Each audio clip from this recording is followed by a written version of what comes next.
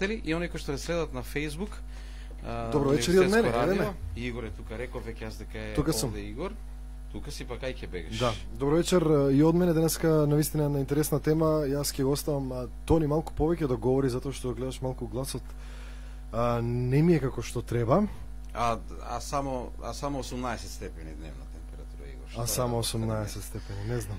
Да кажеме на нашите слушатели, досега имавме според мен интересни теми, а оваа тема некако од петокот ја договоривме и некако преширока ни доаѓа, некако ни доаѓа ситуацијата а, да се случуваат нешта кои што како ние а, да, да, да ја погодивме темата Маептен. Па, секогаш, секогаш ја погодуваме Маептен. Овој пат по нас одат некои нешта кои што за жал имаат и негативен контекст. Значи, он, сите наши слушатели да знаат дека кога се договаравме што теми да имаме и ова тема беше предвидена, првичната идеја ни беше да видиме колку е хумано а, животните да се затвораат, еве на пример во зоолошки градини. Колку е хумано животните да бидат затворени, дали се хумани условите во зоолошките градини. Арно, кога останува збор за животни, едноставно не може човека да не говори за куќните, домашните миленични и не може за жал да, да не говори за е, протестите за правата на животните и за уличните кучиња или кучињата скитници. Се измешано во во едно, се измешано во едно, во едно меѓутоа имавме еден друг аспект, нели? И за љубителите на животните.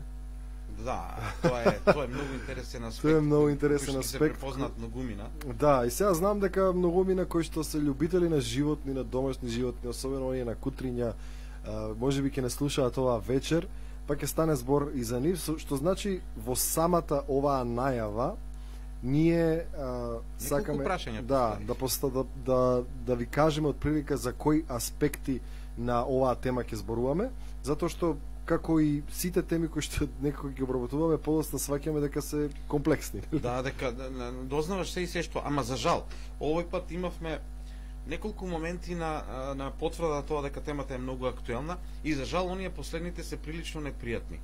Прво имаме ситуација на протест во недела во Скопје, се протестираше за правата на животните, пошто имаше дури коментари во стилот гледај ги се, се собираат да протестираат за права на животни, а ние не знаеме како ќе живееме. Или ги нема да протестираат за државата и слично.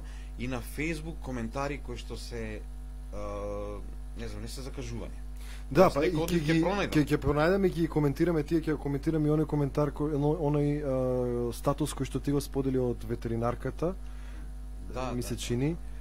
Ветеринарката од Да, на пронајди го таму, пронајди го таму во да коментарите. Да Јас сакам да им кажам на оние кои што не слушаат на радио да не гледаат на facebook.com коса црта угада FM. Таму исто така одиме во живо со видео, па можете и да зирнете што се случува да, да, во студиото може, може да се видиме, односно да не видите, ама Игор, јас морам да продолжам уште малку со ова и сите наши слушатели да знаат. Протестите беа протести, коментарите се различни, ама имаме и друга ситуација. Веќе во недела ми се чини се случи тоа или понеделник, не сум сигурен. Недела или понеделник се случи во Гостивар, девојче 17 годишно, падна во водите на Вардар и се удави и а, сторијата е дека девојчето бегало од кучиња. Скитници. Тоа официјалната приказна, да, ние зборувавме за тоа и со представниците на Анима Мунди кои што денеска ќе слушнеме, односно вечерва ќе слушнеме во ова издание. И последното веројатно како реакција токму на тоа, знаеш, обично има ситуации кога ќе се случат такви нешта и кога информацијата така ќе отиде, што не велам дека не е, може би е така, не велам дека не е, Меѓутоа, еве, веднаш се случува да се јават луѓе кои што мислат дека се ќе решат со едно 1 килограм ланата. О, тоа да, да, тоа катастрофа. Еве, утро, Ја денес си го прибрав кучето. Не? Мои лични пријатели ги знам куче Джек Расел, значи отруено. И да. други, да разговарав со луѓе кои што работат во ветеринарните аптеки и а, велат дека аптеки, ветеринарните амбуланти ќе му да се извинувам, исто mm -hmm. аптеки се таму, носеле денеска многу луѓе, значи во Штип некој сакал да ја земе правдата во свој раце. И ко, како разбрахме Игор ние дека е комплексно прашањето? Затоа што сите сметаат дека имаат право сите сметаат дека имаат право, ама Многу интересно што сите мислат дека имаат решение. Да, сите мислат дека имаат решение. едни едни велат дека решението е да, да се, се убијат кучињата. А, еутаназираат или убијат или како сакате кучињата, што ќе слушнете во ова издание дали тоа е решение. Дури и за оние кои што еве да речеме мислат на прва вака, на прва топка што велат кои ќе ти го кажат, ти доаѓа дека добро ако се справиме со овие што ги имаме на мојата улица и веќе ќе нема кучиње. Да, нема проблем и готово. Меѓутоа да во изјавата во интервјуто кој што го направивме ние со представници на Анима Мунди кои што се добро упатени во оваа проблематика, ќе видите дека впрочем така се прави поголем проблем. Поголем проблем се прави, ама тоа ќе ќе ќе ќе го слушнат. Имаме разговори значи со представници на Анима Мунди и со Даниела Стојанова, е, е, ветеринарен лекар во И изјава и, одговори на прашање од општина Штип. Да, одговори. Добро, тоа речи си не мислим не знам, а не би сакал да говорам за Да, но- има имавме имавме проблем да добиеме изјава, не знам од кои причини од општина Штип аудио изјава, меѓутоа добивме одговори на нашите прашања во текстуална форма, кои што сега ќе треба јас да ги интерпретирам. ќе ги пренесеме. Има Да. веднаш понастанот по протестите Игор имаше еден, една колумна на една наша колешка која што вели на джукелите и джукелите во смисол на тоа што е колку се проблемите, но пак ќе кажам, на вистина сватив дека имаме сериозен проблем и дека само еден аспект на гледањето е а, она дека а, опасни се кучињата скитници, дека можат да направат проблем, ама тие кучиња скитници некој треба да ги остави на улица. Јас знам луѓе многу кои што во вреќе ги ставаат новите малите новите бебиња кутренца и ги фрлаат некаде и тие нормално дека ќе бидат овде во град. И затоа еден дел од разговорите посветив и посветивме денеска со со ветеринарната лекарка на од аспектот на тоа дали и колку сме ние подготвени да чуваме Да, да, да, стана збори за тоа дека на, кај нас законот е добар генерално, он е за благосостојба на животните, меѓутоа потребни се оние како ги велат тие подзаконски мерки, кои што подзаконски акти кои што ќе регулираат одредени области во смисла на посвојување на кучиња, купување на кучиња, малку построги контроли на она на оние кои што купуваат и продаваат кучиња, оние кои што одгледуваат одгледувачници на на кучиња. Меѓутоа тука зборуваме само за кучињата, нели? И затоа што предпоставам дека тоа е најголемиот проблем. Може ли само да ви кажам и тебе, да ве прашам тебе и, и, и Сашо од другата страна, па и нашите, и нашите гледачи и слушатели, значи имаме ситуација. Еве во една а, ве, во една ветеринарна амбулантна аптека во Штип.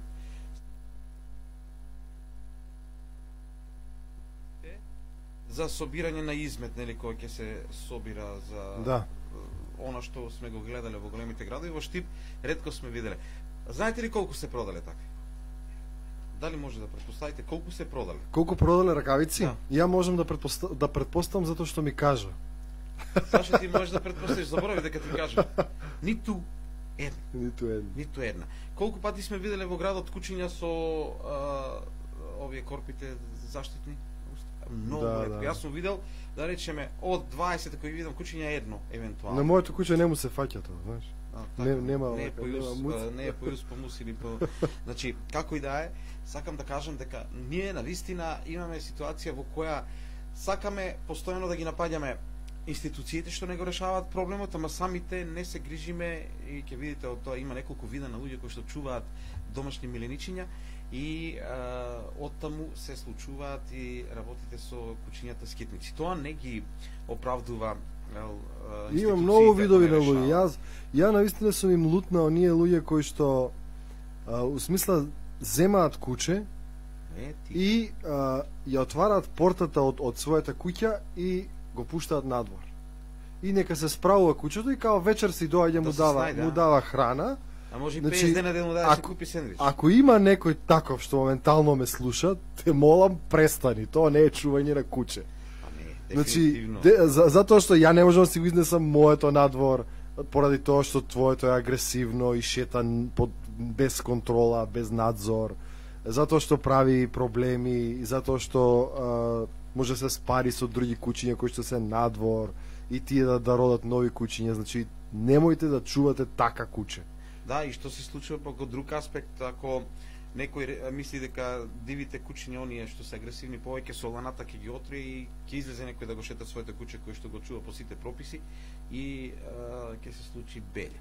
Реков, значи на вистина има многу противници, сега има многу мина кои што сметаат дека веднаш треба да се убијат сите кучиња скитници и завршена работа дека ќе се Да, да, ќе зборуваме и за тоа дали е, дали е завршена работа. И А, ке, да, да почнеме малку со изјавите. Мгм. Значи, а, ја снимивме прва ја снимивме Радмила Пешева, која што е од една од нај да речам активните организации за заштита Анима на Мунди. животните, Анима И најнапаѓани. и кои што се најнапаѓани, најкритикувани, меѓутоа и најактивни генерално. Тие беа едни од организаторите на протестот кој што се организираше а, неодамна а, и кој што а, станува збор за а, протест кој што Во недела се одржа. Да, за благосостојбата на животните, та, та на, во, овој- во овој прв одговор, во прва изјава која што ќе ја слушнеме од неа, станува збор, односно за тоа кои се нивните барања на невладините организации до властите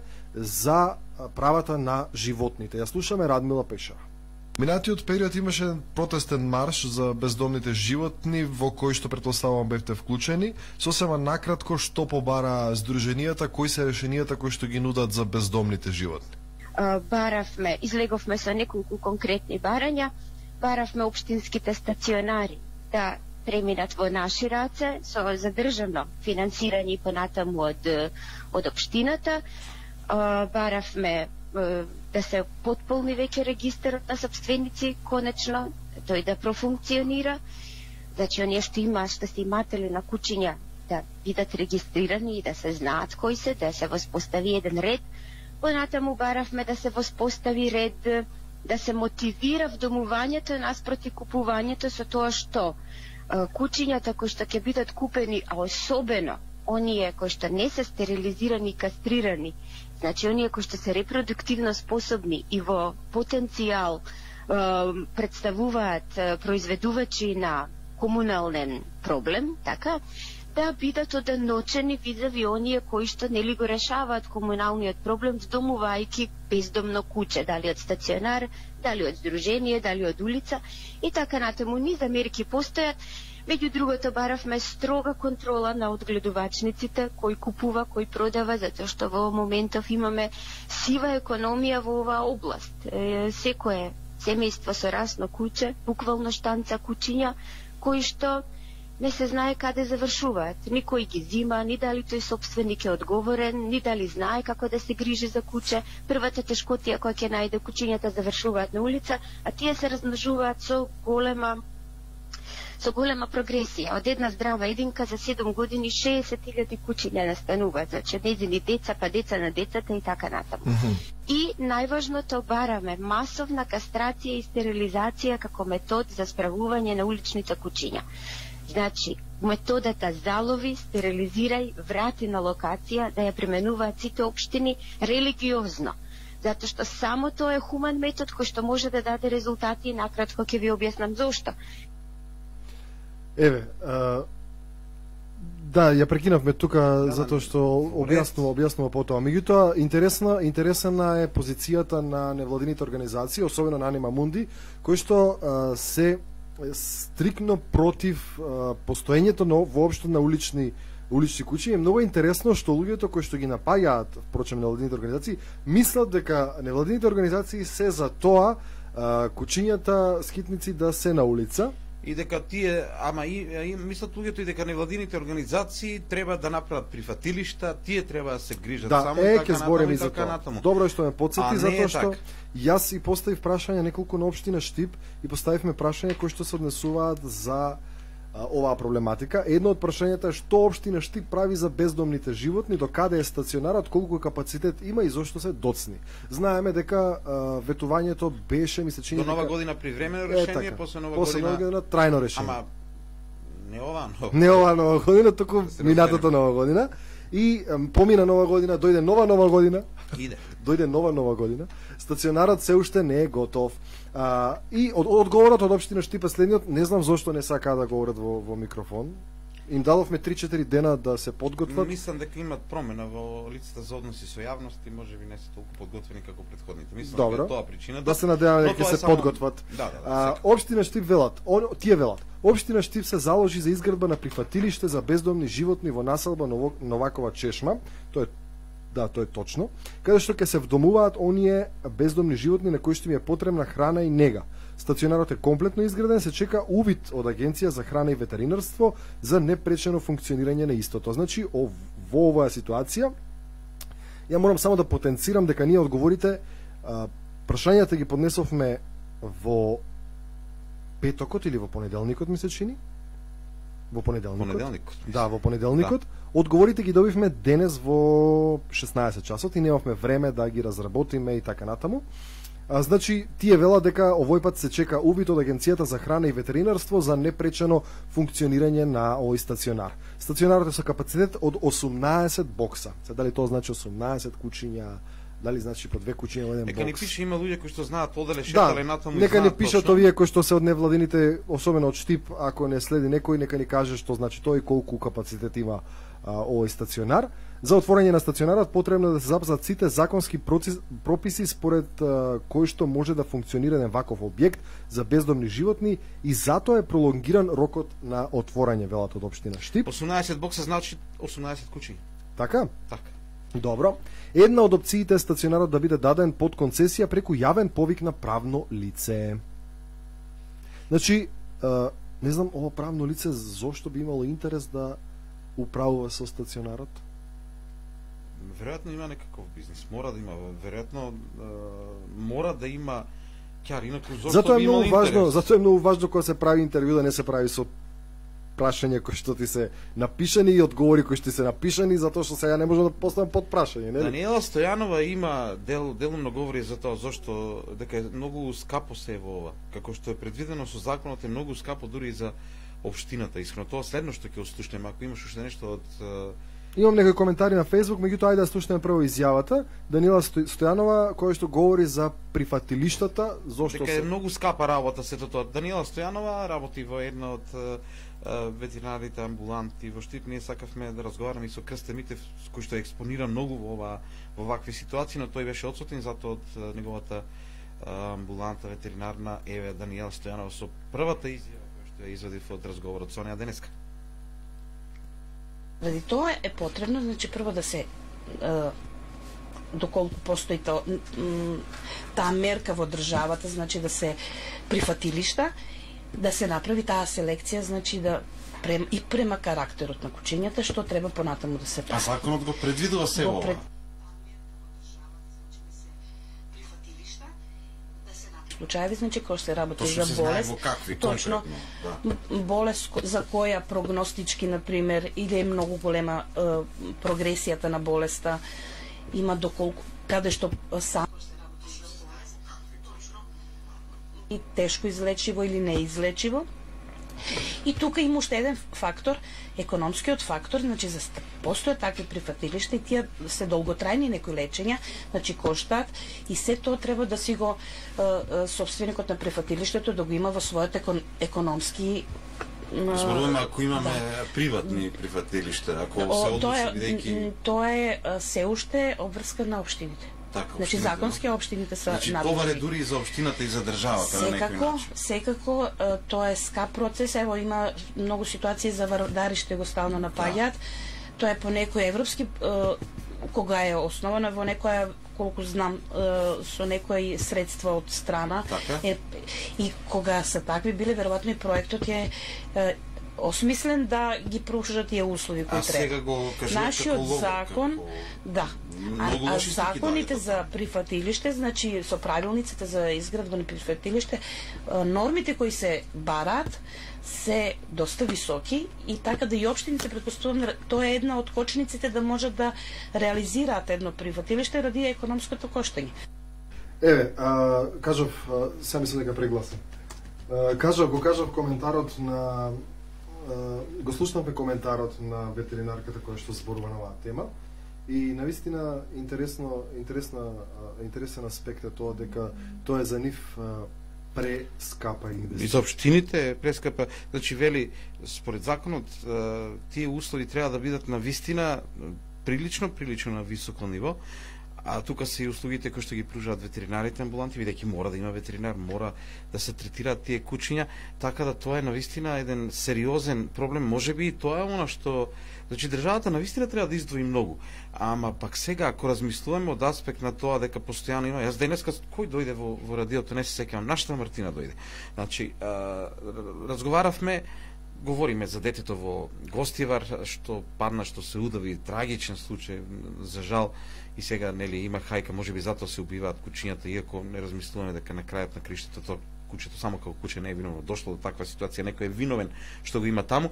И ми кажа два пати ме ме ме напад на куче по мене одеше агресивно. Куче овде во Штип. Значи да, ги имаме има, и тука. Има, има, има. ги имаме и тука. Така да а, како и да е колку и да е скапо мислам дека и тоа е област од која државата треба да да, да, да се позанима. Ма мора, да се затоа што навистина еве сега ако размислиме е, починало едно девојче, колку е скап животот на еден човек во споредба со тоа колку е скапо да се направи прифатилиште или да се да се среди конечно тој проблем како не знам да живееме во во не знам каде. Имаме коментари на Facebook, ајде ги прочитаме. Сенат, значи имаме тони интернационално не слушаат, да знаат. Ајде. Па добре интернетот, А, без граници. Да, љубителите на животни како и активистите може да помагаат на доброволна основа во рамките на своите можности, но што е со властите на локално и централно ниво кои се платени за решавање на овој проблем?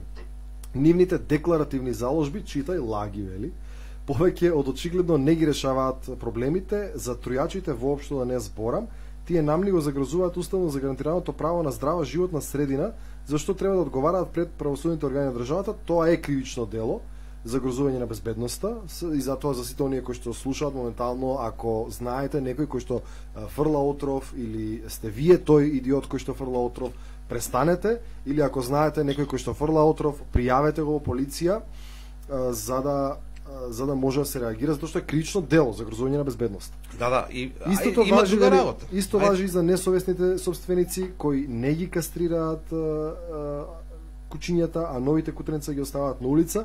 Решение има, потребна е желба и соработка од институциите. Поздрав од Истанбул. За другиот коментар можеме да кажеме само само звукот ли? Што? Ајде да видиме. Па звукот вели ви е супер денеска. Дијана само звукот ли? Се ни е супер Мислам денеска. да се разбереме. Водата ми е супер, кафето ми е супер, Саша е супер. Ама сакам да, друго да кажам. значи, Микрофонот ти е супер. Сега дојде до израз тоа дека ние за ние, нема граница за нашата радио станици. така ли е? Да се разбереме. Но, може ли да кажам мое мислење? Значи, а, и ланатата е забранета за продажба. Да, од кај купуваат, мене ме интересира тие психопати, од кај купуваат Значи, ланата? ние се правиме луди. Ние се правиме луди, луд збуња нормална на работата и а, се некој наоѓа оправдување во некој друг. И се крева гласот само ако протестираат луѓето против животните, па да речеме, аман, вие само протестирате за против за права на животните, кај сте да заштитите државата, тоа ли е најважно, поважно ли е тоа?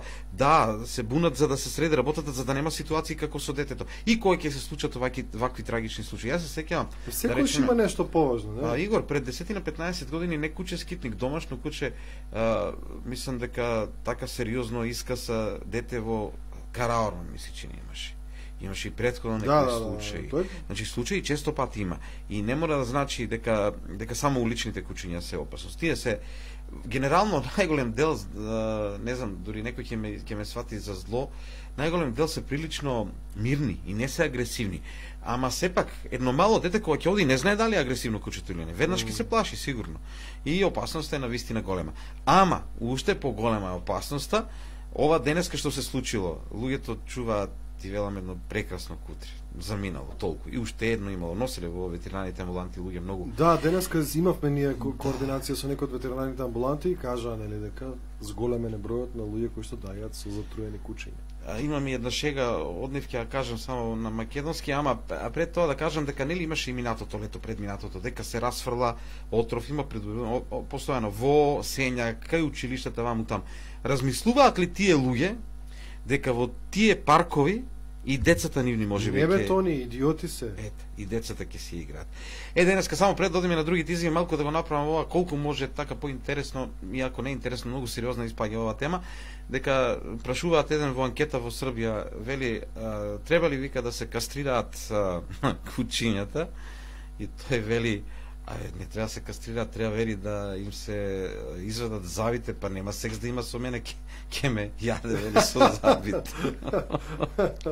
И тоа вистина во, во изјава и тоа еден мој пријател ми ја пушти кој што работи во една од ветеринарните станици кој што се соочува секојдневно со ова. Имаме Одиме, многу одиме, снимки Игор. одиме со снимки, да. А, повторно Радмила Пешова, повторно ќе споделиме информации, значи, од неволен сектор, од властите кои што имаме писмени изјави од нив добивме и од ветеринарите кои што да речеме се стручни за таа работа.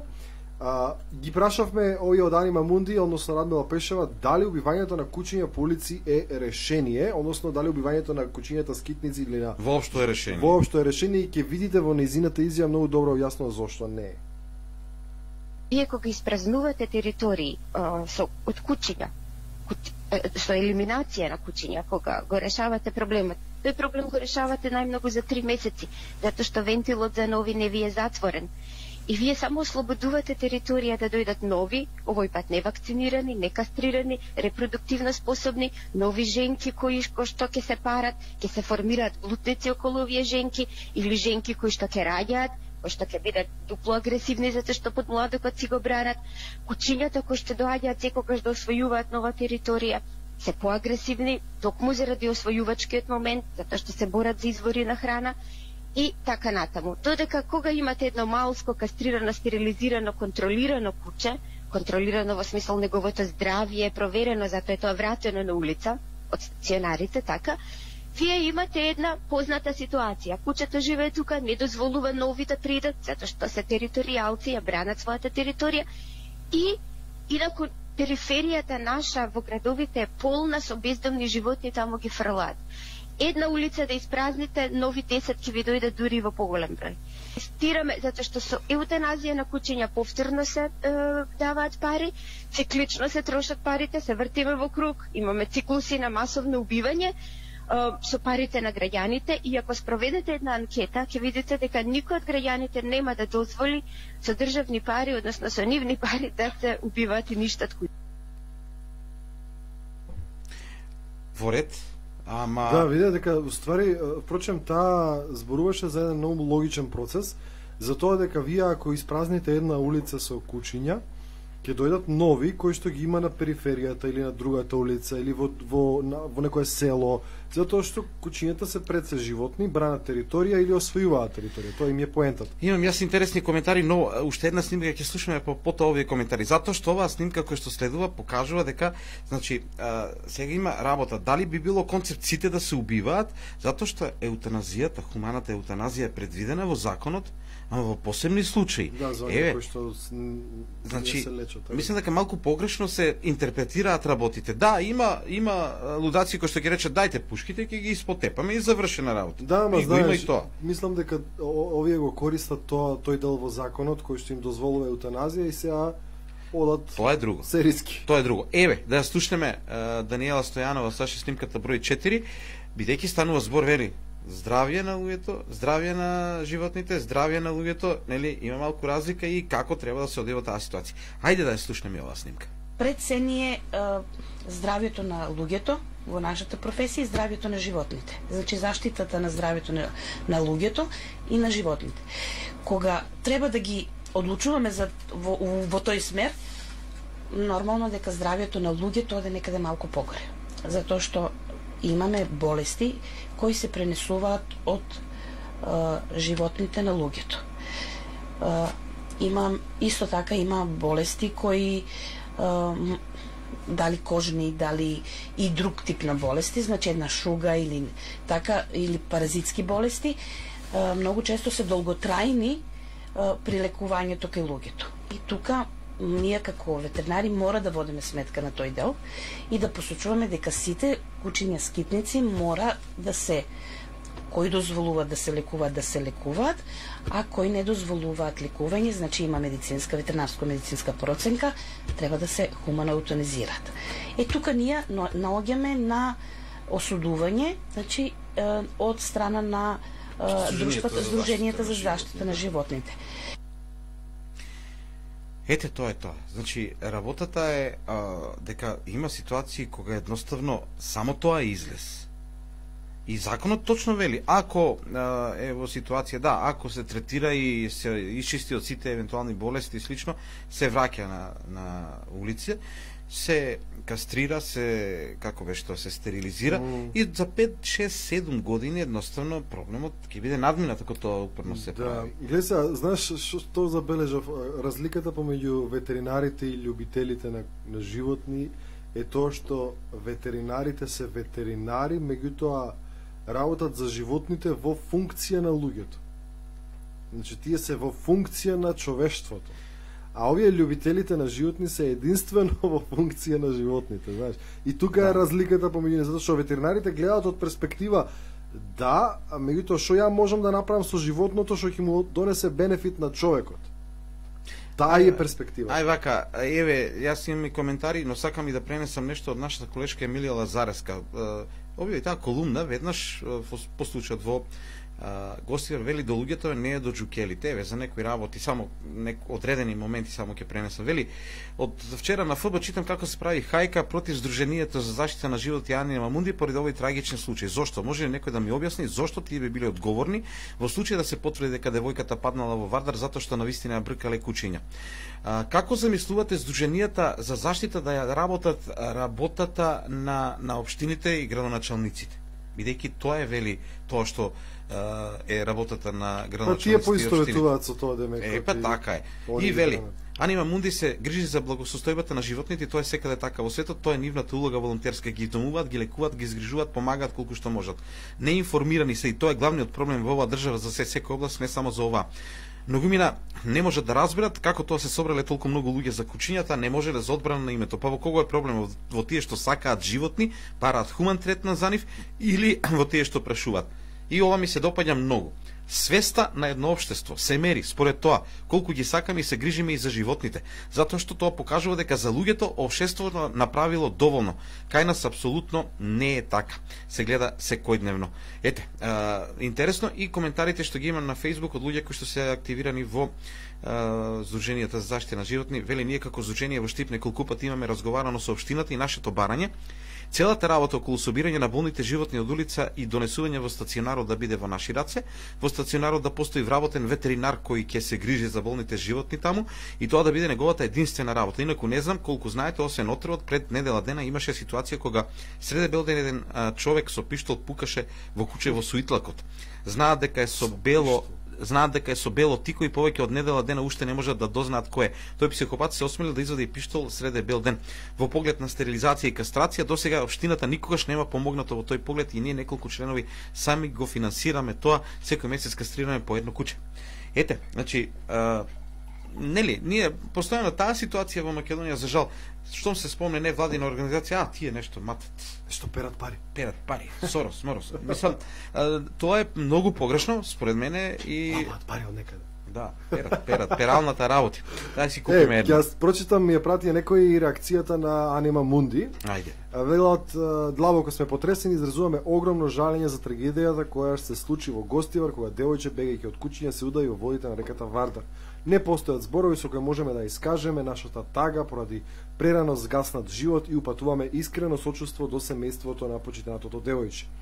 Гледаме дека трагедијата дека се користи како мотив за напад врз нашите заложби за хуман третман на бездомните животни, должни сме уште еднаш да повториме дека ние се залагаме и придонесуваме само иницијативно да нема улични кучиња во ниту една општина во државата и проблемот да се реши трајно, а со цел да се гарантира безбедноста и заштитата на граѓаните.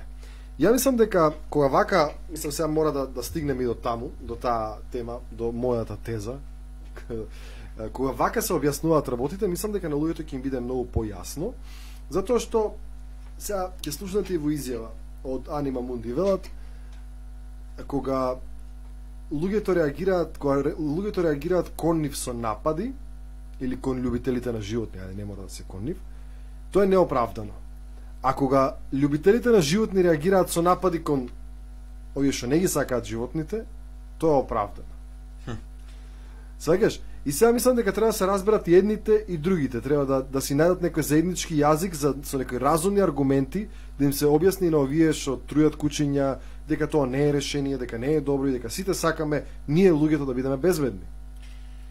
И за жал и ваквите работи ќе се употребат и во политички пресметки и така натаму и така натаму, а, а многу едноставна работата има закони треба да ги спроведуваат за ова и најмалку од се треба да го спречиме правото да некој да дава мислење. Меѓутоа не може ти Зошто? па е, а, зошто? Да се спречи правото, не. Ти, ти велиш да се спречи не, не, правото? најмалку треба да му А, се најмалку. спречи некој да му се ограничи. Да, да, да, да, да. Не, не те разбрав. И сега а, Ја мислам, невладините велиш да се спречи правото некој да дава мислење. Демократија има да мислите како што ќе кажам јас. Не. Ха, не, а, значи, јас само сакам, се надевам искрено, колку е, 20 и 36, се надевам дека во ова, а, во овие многу информации, сепак ќе фрлиме на, се фрлиме на светлина, бидејќи, за жал, кога се третира ова, секогаш се третира кога ќе настане ваков случај, Да. и А ние сосема случај.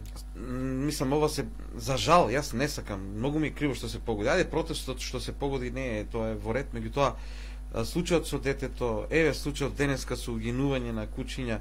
Еве јас да кажам, мој личен пример, чував кутре на село, кај што имам пуќа, чував кутре ми го отровија и од тогаш наваму немам душа да земам кутре да чувам. Да, да. Немам. Само едно си го чувам така фино што го има во влезот на на зградата кај што сум и тоа е прашање, нели, тоа е улично. Да. И не знам, а ќе ми биде криво ако некој го отрои. Така да е, мора да се најде решение и мора некако работите да се средуваат. Ајде да одиме со изјави. А, повторно слушаме од Анима Мунди представничката, која што зборува за тоа, например, еве, ако го примениме, ако се согла- согласат властите да го применат нивниот метод на залови, стерилизирај и пушти, за колку време на улиците ние нема да гледаме бездомни животни, затоа што сите да знаеме дека кога отидеме во странство, некоја малку поразвиена држава, нема животни на улиците, како на нив им успева, еве, тие велат дека тоа е начинот, ајде да, ја слушнеме изјавата. Сметате ли дека воедно е потребно и некако вид на едукација за оние кои што чуваат животни, затоа што тие се тие кои што ги оставаат на улиците? Не знам каква е ситуацијата, меѓутоа слично е предпоставам и во Скопје, меѓутоа во секаде во светот, особено во Европа. Вие не може да земете куче ако пред се не поминате еден тест заедно со кучето. Прво и кучето дека е соодветно, социјално веќе воспитано, или пак откако ќе го земете мало, вие имате должност на еден основна обука да се појавите со кучето. Меѓутоа, ние сме многу далеко од тие механизми. Ема ние се обидуваме да ги востановиме, затоа што државата ги има алатките да, за да воспостави ред. Сдруженијата можат само да се ограничат на ширење јавна свест и помош во вдомувањето. Според, според вас, ако се примени методот стерилизира, кастрира и па врати на улица, за колку време од прилика би немало бездомни животни на улиците? Стручњаците сметаат дека едно бездомно куче живее до 3 години на улица. Временски услови, болест, кој страдаат од сообраќај и така натаму. Значи, основно е 80% од популацијата на улица бездомна да се кастрира. Меѓутоа, паралелно со мерки за одговорно собствеништво. Значи, ние мора да ставиме контрола во тоа кој размножува кучиња и каде завршуваат тие една репродуктивно, значи мора да имаме контрола врз дали се тие одгледувачници легални, дали плаќаат соодветни давачки на државата, дали ги пријавуваат своите легла. Ме разбирате, вие имаме една тотално неконтролирана ситуација. Вие ќе купите најефтин предмет негде во кинеска продавница и ќе добиете фискална сметка за тоа, а за куче како да сте купиле воздух. Ете, за куче како да си купил воздух. Значи потребни се многу мерки кои што треба да се направат според нив за 3 години би можело да ако се добро сеќавам за за 3 години би можело да ги нема кучињата скитници ако се примени овој метод. Да, ама мислам дека не се во право, кога вела дека не смее да има еутаназија, не може да оставиш ти куче кој што е болно, да, да тоа е тоа е начинот, нема друг начин. Значи, мислам дека тука, ама пак сомнежот, значи сите се сомневаат дека некој ќе го злоупотреба тоа да ги Да. да, исчисти кучињата. Ние во ништо не веруваме, за жал. Е, сега Немаме доверба во институциите. Немаме доверба, за жал.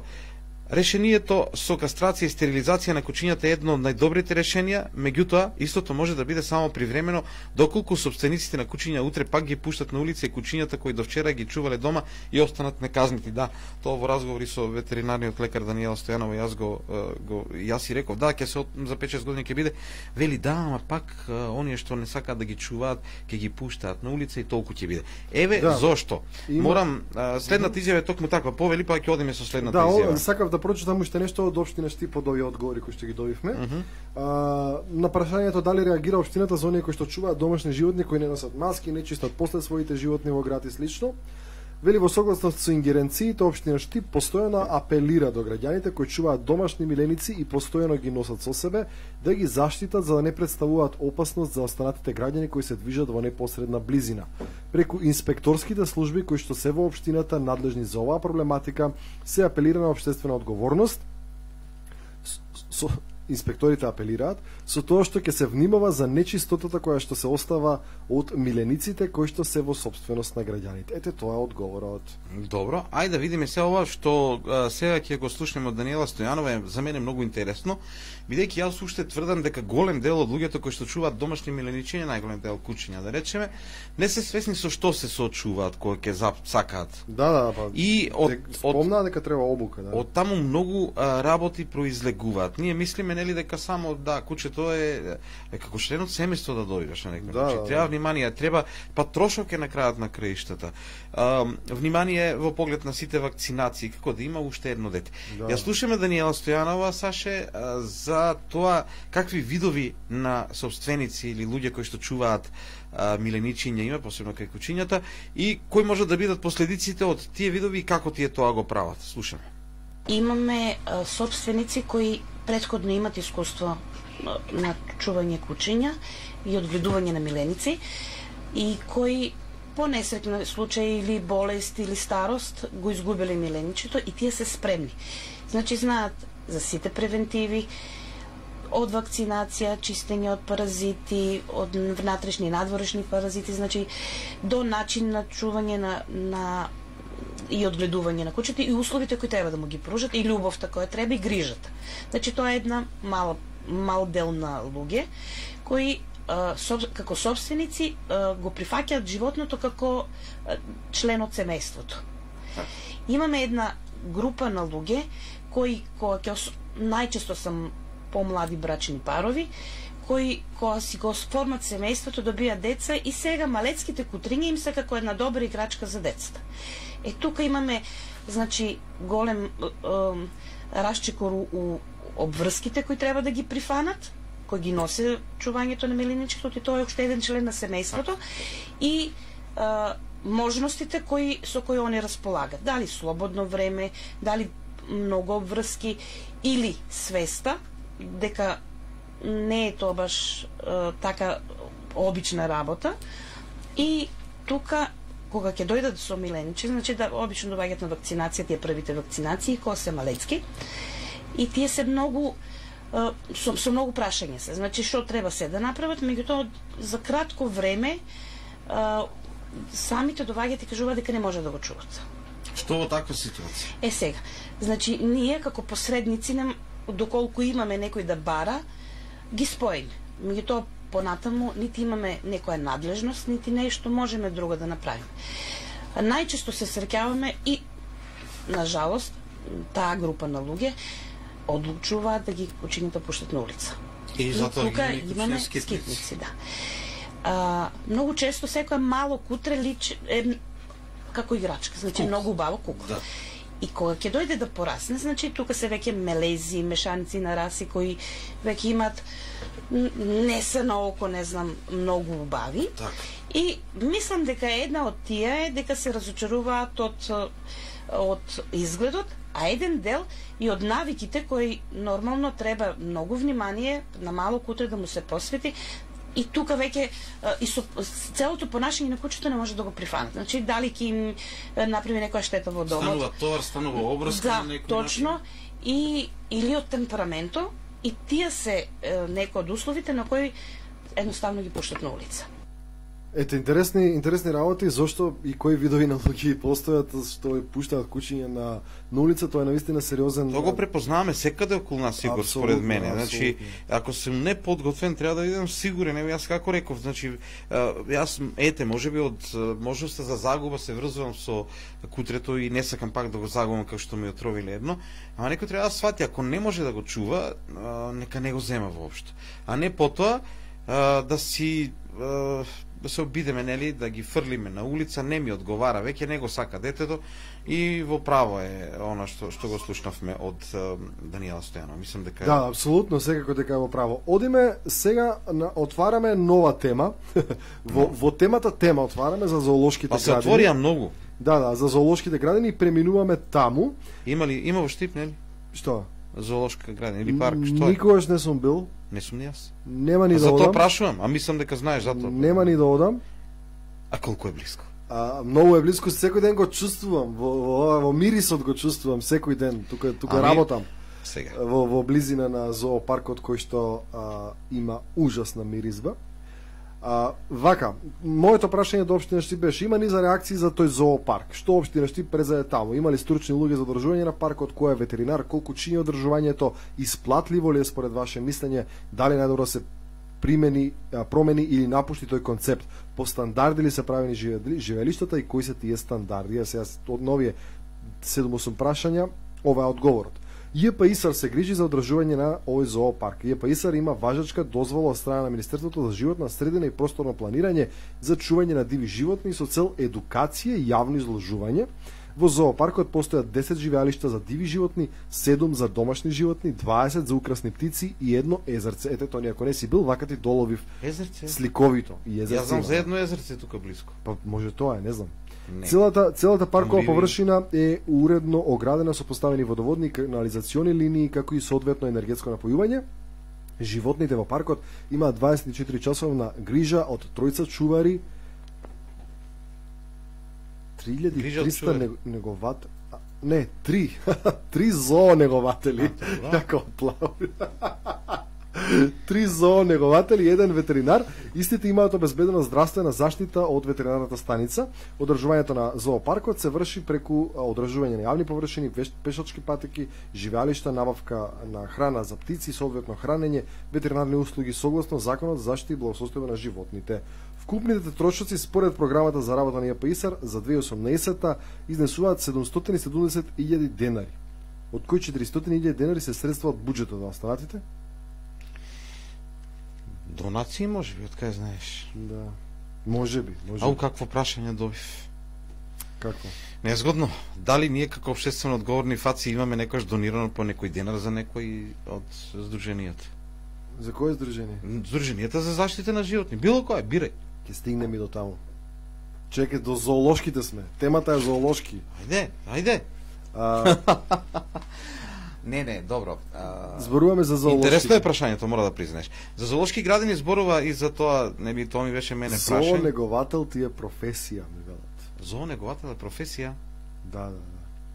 Се сеќаваш кога имаше малку галама околу мечето? Велат, што новинар да не е нешто повеќе, па се смееш. па, Новинар Сега, неговател. Не, новинар А, неговател. Игор, што беше ситуацијата околу мечето ли беше ситуацијата кога Да, да, да, малку имаше. кренавме паника? Да, и да ставив некои слики на Facebook, па тие вртеа многу, па излегува со сообштение и така натаму. Па ја колку, што се сеќавам собственикот на мечето Угриновски еднаш и си го земаше, па пак го враќаше незадоволен. Имаше такви ситуации. Да, мислиш? да, апсолутно. Одиме со Радмила Пешева кој што зборува за зоолошките градини, мене ми интересираше нивниот аспект на тоа а, зошто о, зошто. Дали и што мислат за зоолошките градини како Можеме да ја врзиме веднаш да ја пуштиме другата снимка, Даниела Стојанова. Стојанова на истата тема. така. Анима Мундис се друштво, се здружение за сите животни. Ние по е, убедување сме аболиционисти, што тоа за правата на животните, што тоа значи? Тоа значи за ослободување на животните од било каква експлоатација. Тоа што во моментов се бавиме со кучиња, e, zato što je to gorečki problem, međutim nije problem veganstva. E, veganstvo to kako e, filozof, kako način na život, znači e, kompletno e, nekoristenje na životnite za bilo kakva svrha, sport, oblaka, hrana, zabava i tako natamo.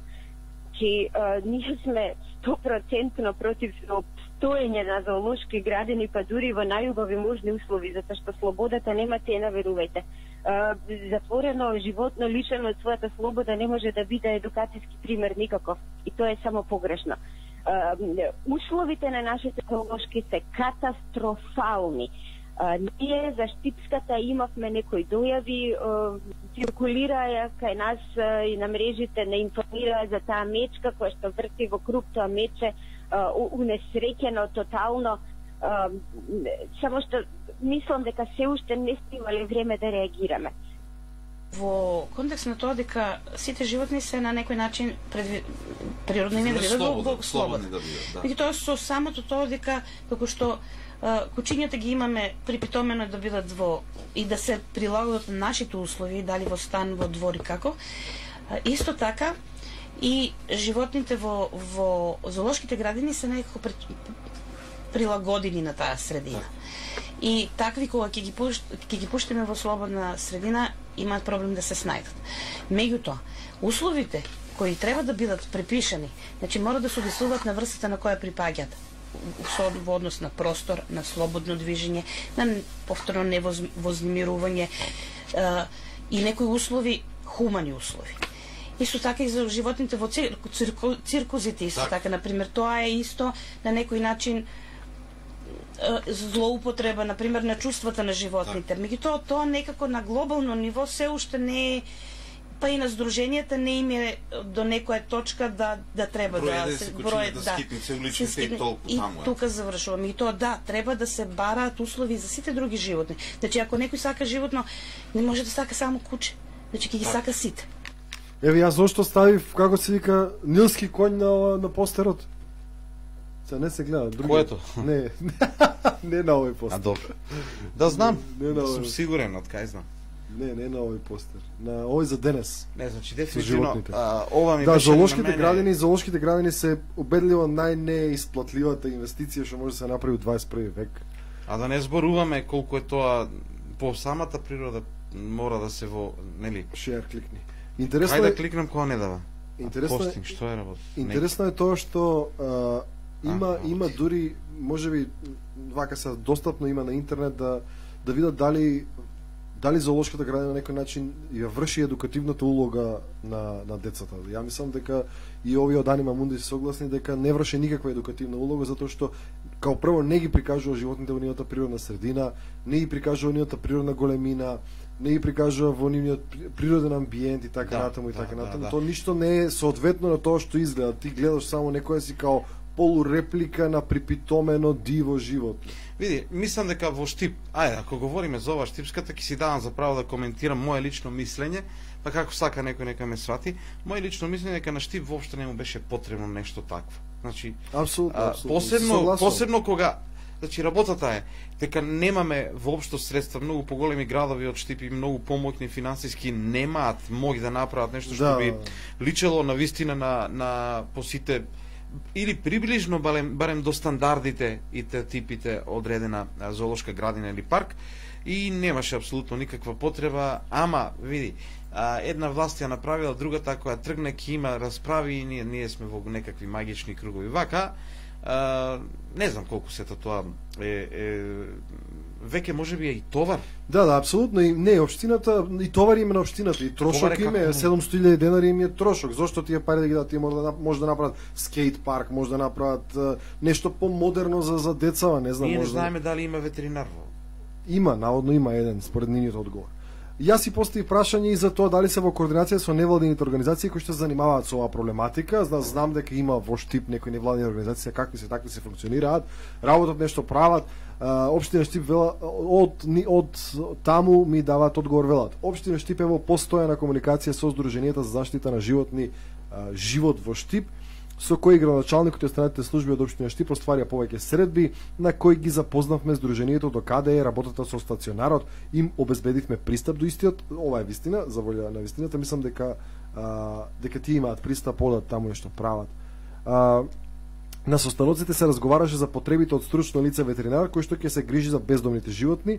Општина Штип е подготвена и отворена за соработка со сите невладени кои што може да придонесат за решавање на многу проблеми, не само во овој дел, туку и останатите делови на локалното владење. Знам дека општина Штип за волја на вистината изминатиот период беше некако поотворена со невладиниот сектор, со граѓаните, неком на многу наврати време гледам на на ова на медиумите, на многу наврати ги примаат, разговараат. Се не знам колку има ефект сето тоа, меѓутоа Да, праша. Ефектот секојаш ќе биде Да, прашање, да, да. ама добра е, значи може да се искористи сето тоа. Апсолутно, штом имаат штом се расположени за да, за комуникација со невладини организации, на некој начин ќе имаат фидбек, имаат повратна врска од граѓаните што е тоа што недостасува во во општината, па ќе може да Да, ама во кога треба да очекуваме малку посериозна реакција. Јас се плашам дека нашите општини а, се затечени, Толку не нашата, не нашата општина, туку општините воопшто во држава се затечени со прашањето на третман на а, бездомните кучиња, бидејќи тоа е многу скапо и бидејќи на вистина бара ангажирање на многу многу а, ресурси. Да, да. И мислам дека е многу тешко тоа да се направи и за жал ќе останеме со, со слики какви што Да, ги има. оглед додека имаме уште 5-6 минути, а и 10 нека пробиеме малку, а, мораме да преидеме на другата подтема.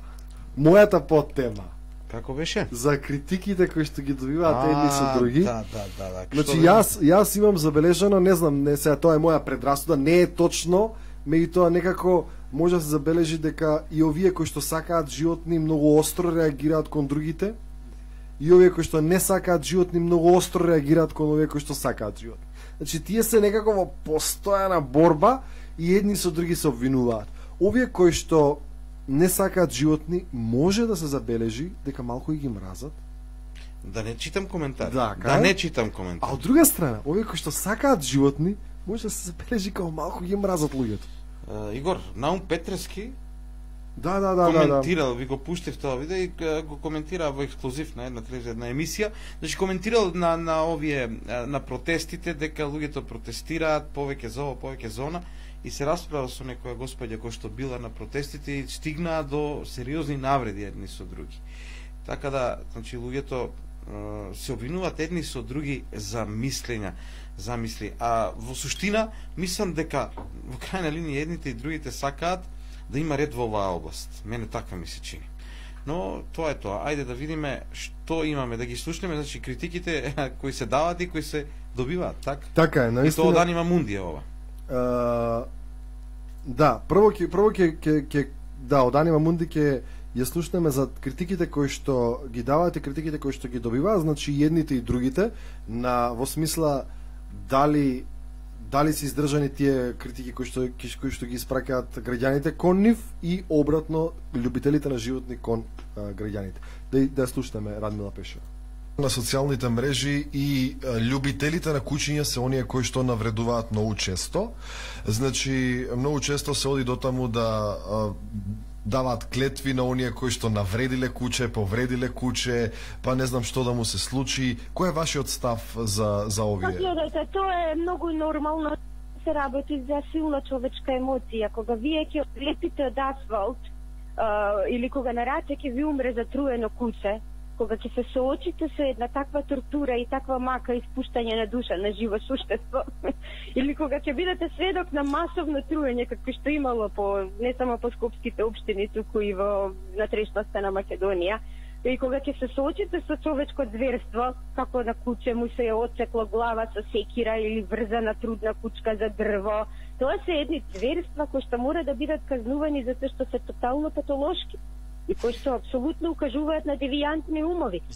Нормално дека при дека тоа е катарзично кога некој полесни душата и ќе каже лош збор за труја со за оно што се за, заканува со труење или колење или со да не спомнувам други методи да не давам идеи на ненормален свет.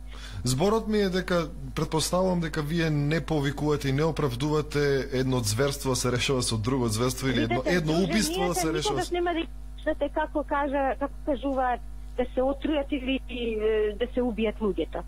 Значи, тоа нема да го од наша страна. Нашата љубов кон животните и тоа што караме законите да бидат спроведувани и исто така измачувањето на животни е кривичен престап, што и во кривичниот законник, за тоа се лежи затвор, што бараме да биде конечно запазувано и луѓе да одговараат за тоа. Е, ние само сакаме Македонија да биде правна држава. Да, може може веднаш да ја слушнеме и следната снимка која што која што зборува впрочем, нели, Овде стануваше збор за оние кои што добиваат, односно невладите организации кои ги добиваат критиките од граѓаните и вели дека односно кога и кога тие даваат критики е оправдано на некој начин. Меѓутоа да слушнеме кои ги добиваат критиките како како се справуваат со тоа. И многу често, а, особено и на интернет, меѓутоа еве и со овој последен настан од денеска кој од од вчера кој што се случи за девојчето, а, одат критики на на ваша адреса. А, велат дека понекогаш ги третирате животните подобро од луѓето. Како се справувате вие со овие критики? Видете, ние сме Сдружение заштита на животни. Така, значи во наш интерес е да ги заштитуваме животните и да се грижиме за нивната благосостојба и да укажуваме на е, моменти кои да е нарушена. А, со критиките од самиот почеток, ние веќе 10 години постоиме, се соочуваме, а, се што е ново, луѓето на нож го дочекаат, додека не научат, голем дел ни се придружи, да достоинствено објаснуваме, ги објаснуваме нашите ставови. Инаку во право сте, луѓето се многу агресивни, лично затоа што најчесто излегува по медиумите се наши ставови е, и физички ми имаат напаѓано на улица неколку пати во Скопје. Е, сака да се пресметаат, кој бил каснат од куче, кој не може да сватат граѓаните дека ние не сакаме животни на улица. Ние сме тие први кои што за нивната благосостојба сме загрижени. Не сме ние тие што ги ставаме на улица, ние имаме 500 домувања годишно. Значи 500 кучиња од Скопје се тргаат од улица и се несуваат во домови. Правиме обштествено корисна работа волонтерски, за која што не сме платени, а сме критикувани. Да, окей. Интересно, Интересно е, да, и има логика ова што зборуваме и тоа да, мора да се внимава во целиот тој дискурс кој се зборува јавно, кој се даваат тие коментари, дека и овие љубителите на животни многу често претеруваат, сега да видиме реални. Па Као сите- некој некој клоцнал некој куче во, во, во град, па да му се исуши ногата, па да го да, да го нема, па децата има некој, крајности. некој да му ги клоца така. Има Се, тоа е ненормална работа.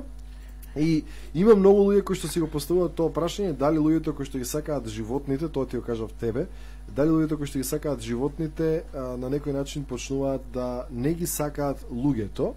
И има неколку аргументи, предпоставки, теории на така, интернет зошто е тоа така. А, вели дека една од причините е затоа што а, има неколку причини кои што ги така да речам ставаат во во ум. Велат кучињата или животните генерално можеш да ги тренираш, да ги дресираш, оди таму, дојди ваму, седни, стани, застани, јади, не јади, ќе ти биде верно, лојално. Меѓутоа вели човекот од една страна ако бараш од него нешто, мора да му дадеш разумна причина зошто бараш од него нешто. Да. Нели кучето нема Кучето не бара причина, Не да. бара причина, оставно оди по тебе, свегаш. А, тоа е лојално и, и без постојано е лојално. Не нема, значи има многу просто ниво на комуникација, не може да да те навреди во таа смисла. И има низа други причини кои што се кои што се да, има константно е оптимистично или среќно Нема смислено да работи против тебе. нема смисла, значи конст, има константен оптимизам и среќа кај, кај животните. Ти се радува. Да, ти се радува едноставно, за разлика од луѓето кога не им е денот некогаш, ма може и да не ти се, баш да не те сакам многу, сваѓаш. А, и се grateful, вели, се благодарни за речи си се. Тоа дека луѓето се, нели, несовршени, понекогаш се неблагодарни, понекогаш сакаат повеќе и тоа не прави луѓе. Понекогаш. Секогаш. Добро, може ли да, да ми одговориш штом така на уште една работа или некој ако може да ми одговори што значи и зошто од кај дошло тоа ќе ти мине како на кутре. Па демек, не Си знам. размислувал? Да, демек, демек и минува Брзо и минува. Да. Имаме уште две снимки кои што ќе ги слушнеме. Да, да, и полека ќе превршуваме. Првата се однесува на тоа зошто граѓаните а, не се запознати и зошто толку малку а, го почитуваат законот за да носат корпи на устите, кучињата, за да се однесуваат со нив како што треба. Ја слушаме Даниела Стојанова и она последното ќе ни биде на вистина за крај е, интересно Да. прашање за Ќе мене. слушнеме Даниела па се враќаме во Да. За корпите од устите ќе ви кажам дека е нас од пракса кога дојдат собствениците на, на преглед нема ни еден процент кои носат кои со ку- кучињата се со корпи. Значи очекуваат да ги ние имаме сите величини, сите а, за да ја да ставиме при прегледот. Да. А, и, и многу често им кажам, значи ваша врска да си носите, значи вие од дома до тука веќе веќе го прекршувате законот. А, наше е да даваме совети, меѓутоа да ги натераме многу тешко. Посебно, посебно вака не, не има други Значи, луѓе веројатно, исто има и казнени одредби, одредби Така. во законите со кои сме, и во законот за ветеринарно здравство, и во законот за благосостојба на животните, значи многу се казнени и високи се казните. Меѓутоа, веројатно, е сега имаме од некоја мртва точка сме тргнати, на пример со чипирањето веќе имаме евиденција на собственици кои се држатели на животни. И во случај да се такво животно најде на улица, ќе се исчита чипот, ќе се најде собственикот преку системот за идентификација и ќе се врати на собственикот. Нормално доколку го има изгубено. Доколку го има пуштено на улица така, тогаш след, следуваат санкции. Чекај да му направам кефот на еден гледач, да се напијам водичка, да уживам малку, мислам, нема смисла. Од Раперсвил е. Што? Од Раперсвил, веројатно Баница Струмичко или може би не знам, не, некаде што збори? Мартин Ангеловски да го поздравам малку, што не гледа и што е многу паметен. А, ајде се напијам водичка или Да, чај тоа е, да не знам, тоа е интернет, тоа не ти дозволи. Не, тоа е затоа што може би некој жив- животните повеќе ќе ги сакаш. Аха. Ама добро, секој има право на се, е, нема проблем.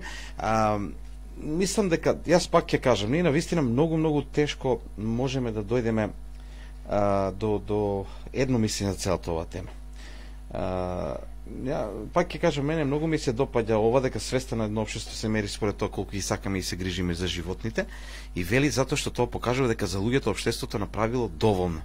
И сега а, јас не знам, на вистина наместо оние кои што протестираат за права на животните да ги насочиме во насока да бараат од институциите да работат и тоа го бараат, ние веднаш ги напаѓаме. Но и тие напаѓаат, ги напаѓаат овие другите граѓани. Да, и така, да. И се, сега наеднаш, така, абе чека има Сега ги многу поважни работи и така натаму. Ги разбираат овие љубителите на животни, ги разбираме многу емотивно и сето тоа, не го раз, не, не може да, да ги разберат некои кои што настрадале од куче. Знаеш, директно ја врзуваат со нив проблемот си го врзуваат директно со кучето. Заборавивме една работа. Треба да се разбереме едноставно едни со други, не? Заборавивме Игор една работа дека а, се организираат борби со кучиња. Да, мислам дека не знам веќе дали се организираат. Не знам, едно време се организира, многу ми навела дека уште се прават и тоа е навистина една Да, а, катастрофа. лоша лоша работа. Меѓутоа, ајде да видиме дали дали мислите и Одиме дали мислат. така? Да, за крај што значи на вистина да чуваш милениче, но гумина вела дека животот им се мени кога чуваат милениче. Дека позитивно влијае на нив. Дали е тоа така? Ајде да слушнеме последната изјава или одговорот на ова прашање кој што го поставив на Даниела Стојанова и нека размислат сите што чуваат и сите што се противници на сето тоа, но и сите да размислиме малку од аспект на тоа дека ние кога говориме дека се трудиме и се бориме за правата на животните, всушност се бориме и за нас, бидејќи тие животни живеат покрај нас и како ќе ги третираме се сите сме дел од еден еден заеднички свет. Ајде да слушнеме. имам приметено, значи имам ја собственици кои имат во некој свој период од животот имаат некој страф од животните. И кога пр, поради притисокот на децата најчесто се дешава да добијат или на поклоник да купат некој или да го набават некој дали е мачка куче не е битно. И после некое време кога доваѓаат, значи и многу се многу се ревносни према мерките кои треба. Значи се што треба да се направи е, тераат по правило, да. Како задоволство, да, некако Како, како, да. И а, истите тие луѓе кои има значи, значи некој отпор предходно кажуваат да ми некој кажал дека да, тре- дека вака ќе ми го промени животот, порано ќе сум земал. И, и тоа стварно имам луѓе кои се веќе изградени личности, значи 40-50 години, кои едноставно е, е, чувствуваат дека ето е, како да кажам разговараат со, со животни. Се разбираат. Се разбираат и, и, и, и многу често ка- кажуваат кога ме погледа точно знам дека ме разбира. Го чувствуваат многу ова и јас мислам дека ова е, е таа вистинска порака, а она порака која што мораме да кажеме, мислам дека Игор во секој случај дека институциите треба да си ја вршат работата. Нема друго. Друго друго решение нема. И е, екстремните случаи треба да се треба да подразмислат оние кои што екстремно го прават. Да, екс, екстремистите на двете страни, така да ги кажеме, екстремистите и Да. на во делот на љубителите на кучиња, екстремистите на животно мразачите, нека подразмислат, затоа што на пример и мене ми се случило, ја јас сум љубител на на животни. Меѓутоа се не сум она фанатично, религиозно и да да ги навредувам сите оние кои што јадат да речеме месо. Да, Е, да, да тоа е, речеме, тоа е пак друга тема. И очигледно. сега, на пример, на Фейсбук мене ми се случи, вели, ти си убиец, штом јадеш месо, Мгм. И сега не сакам да влегувам во ова како се вика дискусија пошто тоа е беззначајна, безполезно трошење на време. И велам а, си велам само на себе тој љубител на куче ако е вегетаријанец сигурно чува едно 7-8 кучиња и тие валјда не се вегетаријанци. Нели, Ето. валјда не ги рани со брокула? Тоа се, ете тоа се тие крајности кои што ги велиме и генерално да речеме дека сите ние, сите кучиња се лоши, сите не сакаат да чуваат. Меѓутоа, Да, да. и ова и во оваа област, значи, пак ќе се потврди една работа, во државава имаме закони и е, треба да се почитуваат и треба секој да си работи својата работа, можеби ќе биде подобро. Арно, ама Секој нека си ја гледа својата работа. Тоа е најпаметно. Така ли? Таа пат на не да си ја работи. Да, да, и на вистина е да си ја работи, си да, ја тоа, работи. тоа, тоа е истото. Арно, ама Тоа е нај најдоброто решение. Колку време ние говориме, вака, меѓу нас, колку време разговараме на оваа тема, колку време како новинар си се соочила со ова, а не си видел ниту една конкретна а, сериозно преземена мерка од надлежните. Требаше да се случи случајот во а, Гостивар да се крене многу прашања и дури Заев, премиерот на владата на Република Македонија вчера да изјави дека треба да почне и така и така и така. Не знам колку кошта тоа, мислам колку и да кошта сигурно не е повредно од човечки живот. Сигурно Токму не е така. повредно, колку сака нека чини. и да се разбереме, кога говориме дека треба да се почитуваат законите, дека треба да се третираат како што треба а, бездомните кучиња, дека треба ние сите дома ако чуваме кучиња да ги третираме онака како што треба, како што предвидува законот, тоа е токму за да не дојде до такви случаи кои што, Да, што се случи со апсолутно, апсолутно. Ама некој не сака тоа да го свати. Ама знаеш, треба а, понекогаш знаеш некому му треба и многу труд за да напише еден коментар и да нап, да најде кој е, смајли да ги стави. Тешко е тоа. Тешко. Многу е тешко, а па камо ли да се сватат вакви работи. Арно, ама тоа не значи дека треба да се откажеме. Можеме само да се откажеме сега затоа што Да се одјавиме. Од, да се одјавиме се извинувам, да се откажеме за оваа вечер и да одиме да гледаме Лига шампиони. Да, Веќе малку почна, малку веќе доцнеме, да. Доцниме да видам јас, чекај, чекај, чекај. Мислам Ајде дека Тони за крај кажи ги резултатите, мораме да првите два ги знам, Рома ЦСКА 1-2 заврши од 18.55, Валенсија Јанг Бойс 3-1, на другите 0-0-0-0-0. Ти мислиш ли дека овие што сакаат животни, сакаат и фудбал во исто време? Са... Ке речев сакаат, ама сака. Се врзуваат. Сакаат, сака. Манчестер Сити Шахтер 1-0. А, се врзуваат. Ние кој ќе гледаме? Реал. Не, не знам. Мене ме чекаат на едно место Еј, и ќе си Слушай, слушай, гледам, да ти кажам, јас сум во секој случај за да ја гледам Пълзен Реал Мадрид, ама мислам дека најинтересниот дел оваа вечер е Јувентус Манчестер Юнайтед, да се разбереме. Без конкуренција. А, Океј? апел до сите кои што не слушаат, ако на било кој начин можат да влијаат да се менува мислењето во, во позитивна насока, во реална, во насока која што ќе биде корисна за сите нас од аспект на тоа како ги третираме животните, да делуваат така. Да, да, јас Што- ја исто сакам да да и кажам на оние кои што ќе видат или ќе забележат некој дека фрла отров, знаете дека тоа е кривично дело, пријавете го човекот. Во исто време ако забележите некој од оние религиозно фанатични љубители на животни да ве навредуваат на социјалните мрежи, блокирајте го, е, затоа што ниту едното ниту другото нема не води кон никакво решение. Не знам, јас само знам дека а, знам дека имаше многу идиотски коментари после протестите и знам дека Да, и од двете страни. човек да се Постојано. разочара од тоа кое е нивото на комуникација, тоа е многу Апсолутно. многу лошо. И уште еднаш многу ми е жал за луѓето кои што денеска буквално плачат за едно кутре кој што а, го загубиле како последица на тоа што некој сакал да земе правдата во свој раце и уште пожално ми е тешко за родителите на девојчето во Гостивар а, за тоа што се случило и навистина е, е, е трагично. Така. Ама мораме да сватиме дека сите на одреден начин придонесуваме за тоа ако молчиме и ако нереално гледаме на нештата. Океј. Мислам дека е доволно за Да. оваа вечер. Тоа беше се во ова издание на неноќната програма. Имаме обврска да кажеме одговорен уредник Игор Стојанов, реализација Универзитетско радио, уредници и водители Тони Михилов и Игор Стојанов, техничка реализација Александар Максимов. Денеска е 7 ноември 2018 година. Благодарност на сите кои што не слушавте на радио, благодарност на сите кои што не гледавте и слушавте на интернет преку Facebook, следете не постојано на facebook.com косацрта FM. И нормално, иднината среда сме тука пак со повторно сигурно интересна тема. Се надам дека таа нема да не одведе во како беше во десетина подтеми, ама нема тема која што нема десетина подтеми.